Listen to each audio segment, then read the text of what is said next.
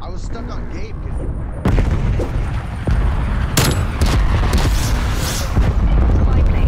I just had a cross map tomahawk on Nuketown.